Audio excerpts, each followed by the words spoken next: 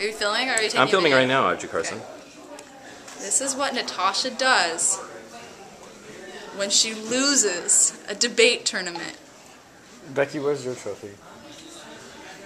That one's We here. Haven't found the arms yet. Watch out. We're gonna show you what That's Becky that's trophy. Natasha's, isn't it? Are we talking about Natasha? This is Becky's trophy.